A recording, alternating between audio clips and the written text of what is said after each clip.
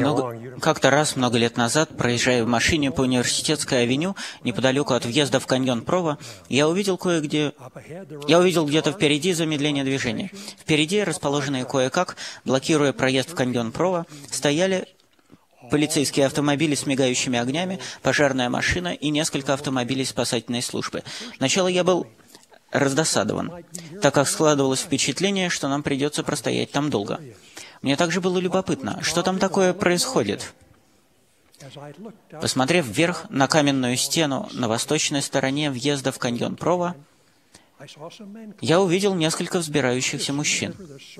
Я предположил, что это были спасатели. Куда же они карабкались?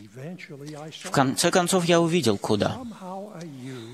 Заблудившаяся овца каким-то образом влезла по каменной стене примерно на 8 на восьмиметровую высоту и не могла оттуда никуда сдвинуться. Это был не горный козел или горная овца, а обычная белая овца, отбивцы- отбившаяся от стада. Поскольку делать мне там было нечего, я просто стал внимательно просматривать каменную стену, пытаясь найти тропку, ведущую к тому месту, где стояла эта потерявшаяся овца, но совершенно не, смог, не мог себе представить, как она туда забралась. Тем не менее, она там была, и вся эта суматоха впереди сосредотачивалась на ее спасении. До сих пор не знаю, чем закончилась эта история, так как полиция восстановила движение транспорта. Когда я уезжал оттуда, меня беспокоило только одно. В то время как спасатели были, безусловно, исполнены самых благих намерений, как на них отреагирует эта овца? Уверен, у них был план как-то ее успокоить. Возможно, они выстрелили бы в нее с близкого расстояния дротиком с транквилизатором, чтобы поймать ее до того, как она упадет. Ничего не зная об их плане, но немного зная о том, как животные реагируют на то, когда их окружают незнакомые им люди, я переживал об, об осуществимости их спасательной операции. И кроме того, я задался вопросом, где же пастырь? Несомненно, он лучше всех смог бы при- приблизиться к этой овце, не переполошив ее.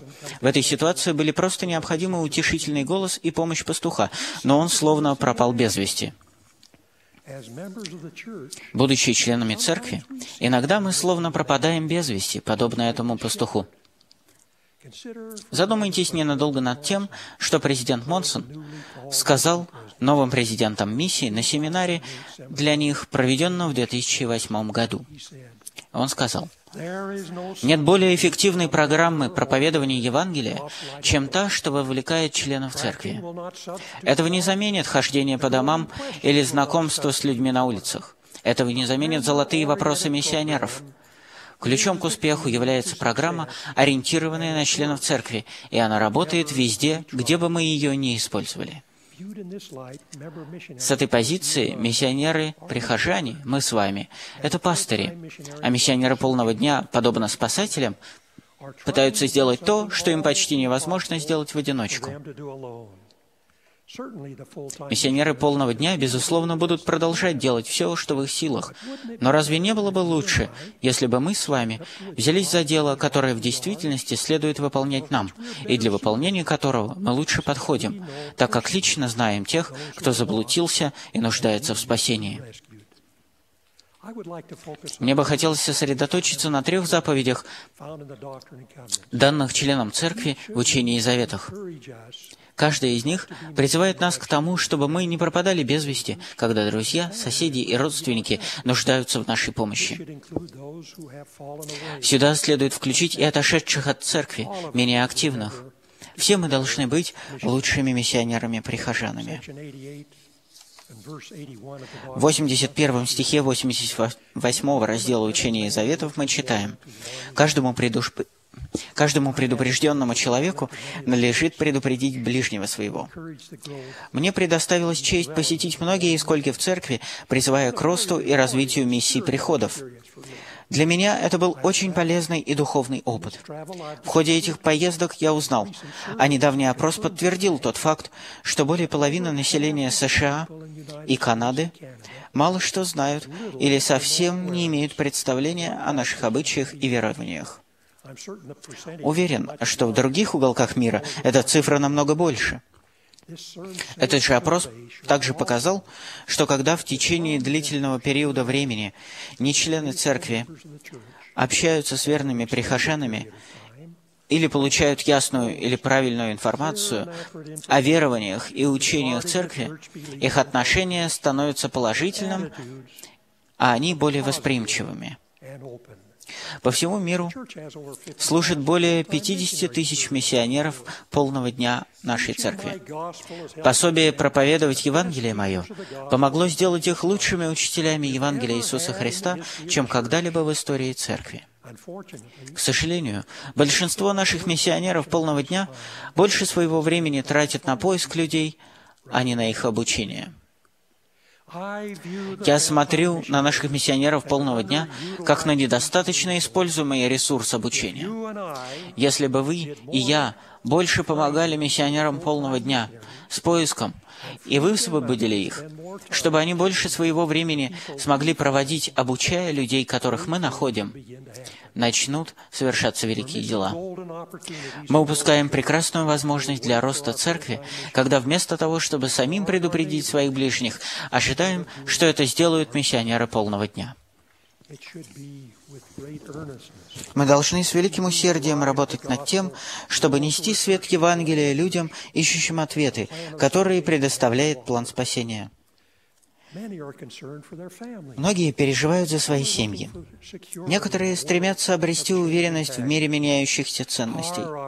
У нас есть возможность дать им надежду и смелость, и пригласить их пойти с нами и присоединиться к принявшим Евангелие Иисуса Христа.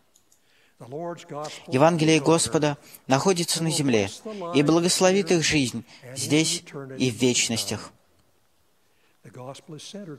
Евангелие сосредоточено на искуплении нашего Господа и Спасителя.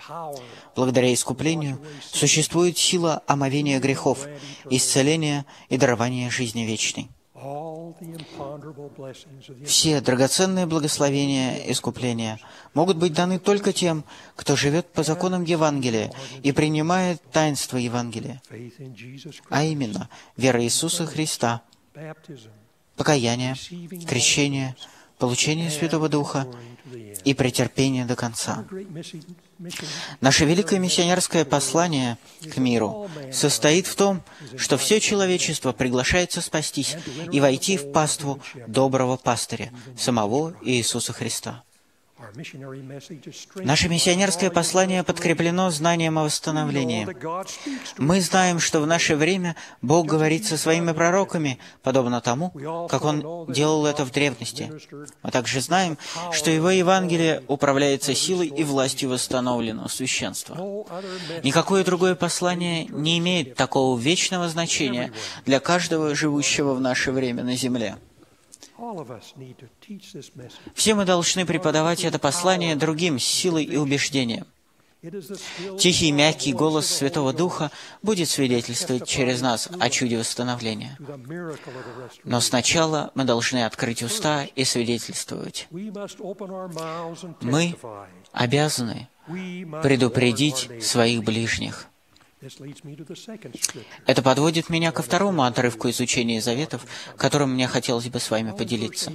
Тогда как 81 стих 88 раздела учит нас тому, что немедленно после того, как мы были предупреждены,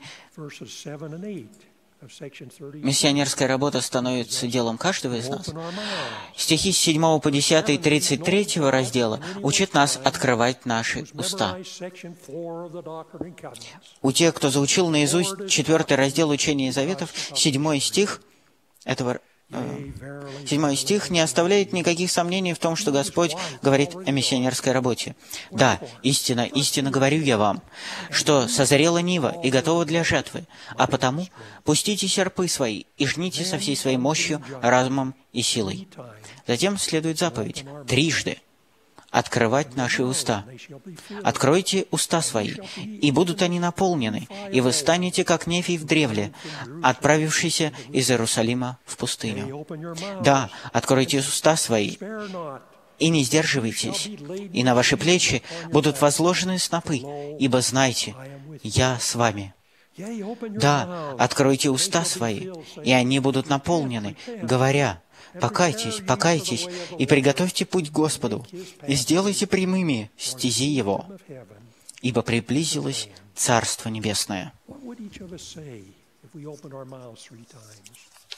Что бы сказал каждый из нас, если бы трижды открыл свои уста – если позволите, мне хотелось бы дать совет. Прежде всего, нам следует заявить о своей вере в Иисуса Христа и Его искупление. Его искупительный подвиг благословляет все человечество даром бессмертия и возможностью насладиться величайшим из всех данных человеку даров Божьих, даром жизни вечной. Открывая свои уста во второй раз, нам следует своими собственными словами рассказать историю о первом видении, то есть о том, что мы знаем о мальчике неполных 15 лет, который вошел в рощу, и после искренней и смиренной молитвы для него открылись небеса. После столетий разногласий миру была открыта истинная природа Божества и истинные учения Бога. Открыв свои уста в третий раз, давайте будем свидетельствовать о книге Мормона, новых свидетельств об Иисусе Христе. Книга Мормона дополняет Библию, давая нам более глубокое понимание учения Евангелия нашего Спасителя. Книга Мормона является убедительным доказательством того, что Джозеф Смит воистину пророк Бога. Если книга Мормона истина, то произошло восстановление священства – если книга Мормона истина, то силой этого священства Джозеф Смит восстановил Церковь Иисуса Христа. Перечитывая снова книгу Мормона, я только что закончил книгу Алмы. В завершении своего великого послания к церкви в Зарагемле он сказал, «Ибо какой пастух среди вас, имея много овец, не сторожит их, чтобы не подкрались волки и не истребили стадо его. И вот, если волк войдет в стадо его, не изгонит ли он его? Да. И, наконец, если сможет, не убьет, не убьет ли он его? И ныне я говорю вам, что добрый пастырь вздывает к вам, и если вы послушаете голоса его, он приведет вас в стадо свое, и вы будете овцами Его. И Он заповедает вам, чтобы вы не допускали ни одного волка хищного в вашу среду, дабы Он не истребил вас.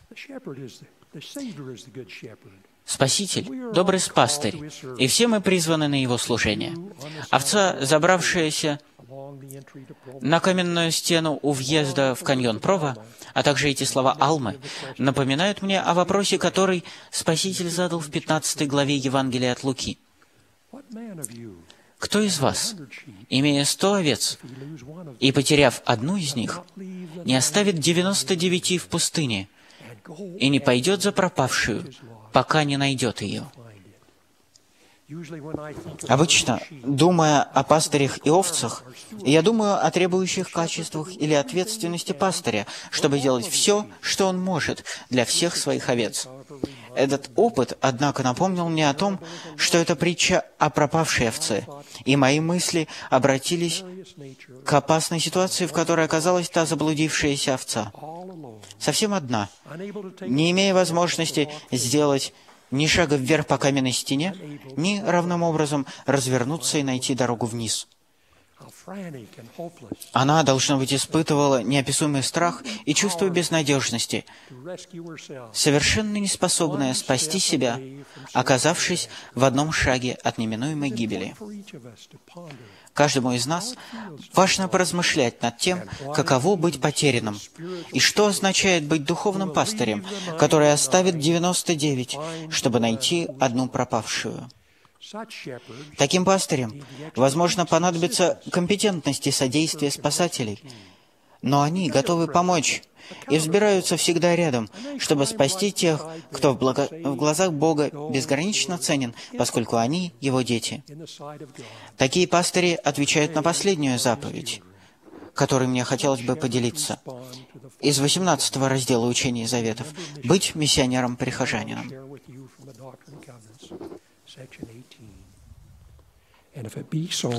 И если будет так, что вы будете трудиться все ваши тру- дни, призывая к покаянию этот народ, и приведете ко мне одну лишь душу, как велика будет ваша радость с ней в царстве Отца моего.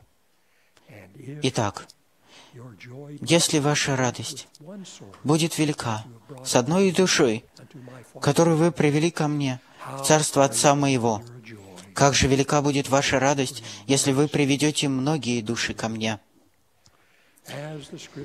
Как видно из этого отрывка из Священных Писаний, такие пастыри испытывают невыразимую радость. Я name свидетельство об этом во имя Иисуса Христа. Аминь.